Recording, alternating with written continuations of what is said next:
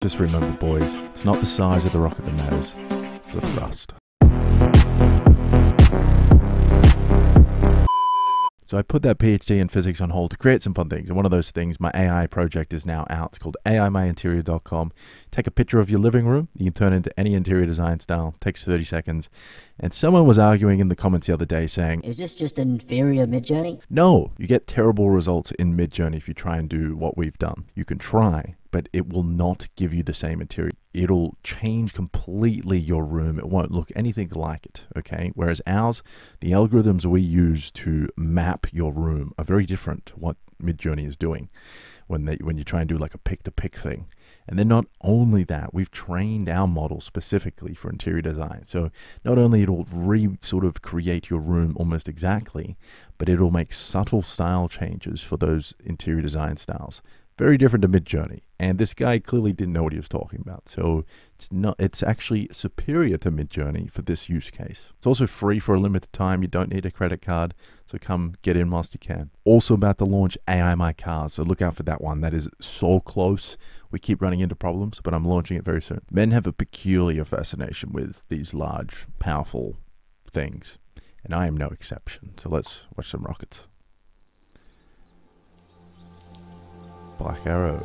Hey, the flying lipstick. It was Britain's first, I think. Uh, they uh, it was kind of doomed to fail, but it, it flew anyway. I love that they've got a human for scale. Electron. I love Rocket Lab. The guy who started Rocket Lab, just across the ditch from me, over in New Zealand, uh, Peter Beck. The guy has like no formal education. Just started a rocket company he, he's pretty amazing. He comes from a place called Invercargill in New Zealand, right down the bottom, the very bottom, how you get to like Antarctica. You can also go from another place, but um, it's like there's like nothing down there. it's country boy. Minotaur one. Atlas SM65. Oh, that was the that's the first uh, inter intercontinental ballistic missile actually. Um, I'm pretty sure.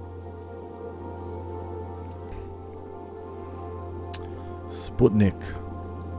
Mm-hmm. The very first to launch Yuri, Vega. That one actually failed um, just the end of last year. What is it, like three failures in the last eight outings now? So that's it's not good for Europe.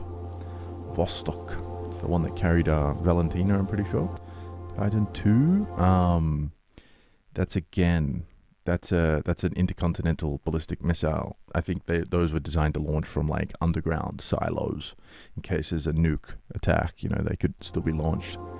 Delta two, nothing needs to be said there. This is a great video.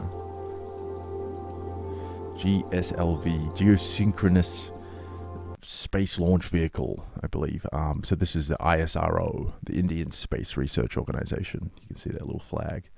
Awesome rocket. Soyuz, another Russian. Spasiba, Horosho.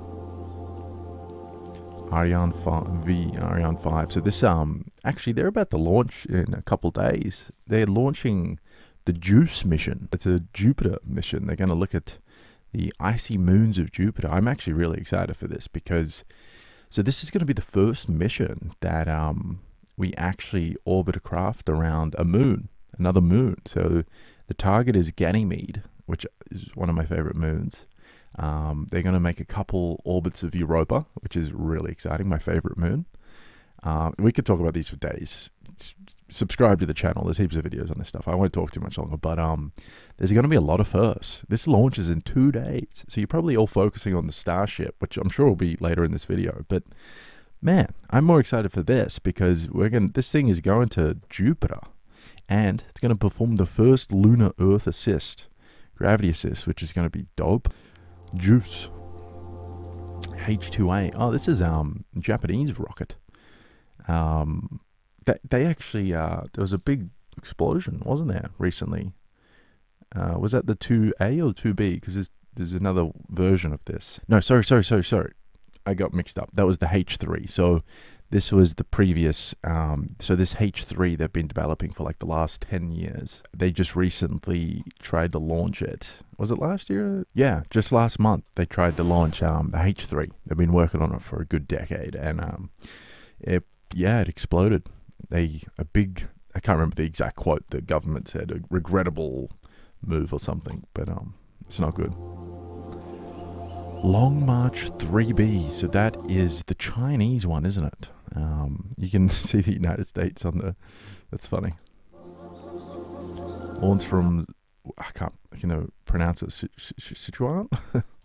Space shuttle. So we nothing needs to be said there. Obviously, the first reusable orbital spacecraft. Look how big it is. Wow. H2B. Oh, so they did show the other the Nippon. I love Japanese culture and just everything Japanese. so this is the uh, Russian version of the space shuttle, which they basically just stole. By the way, if you don't know the story of this, it's quite amazing. So NASA, right? It's not a military thing, so they didn't. The documents for this space shuttle weren't like classified or anything. It wasn't seen as like a weapon, and so they basically had them on, just you know, just it for the public the public could look at these documents.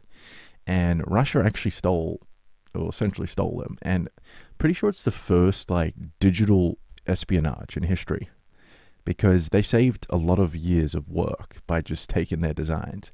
Now, this thing was quite different, but I mean, just look at it. But they did steal a lot of like, even the computer systems, the the material, a lot of it. Um, there was lots of differences though. Like this thing had like uh, jet engines on it. It also could be flied without anybody autonomously. Uh, it only flew once, and it was very successful. And then just a few years after the, um, you know, the Soviet Union collapsed, and so that was the end of this thing. But and then when was it? Two thousand and two or something around then. That uh, the bunker that it was in collapsed and it destroyed it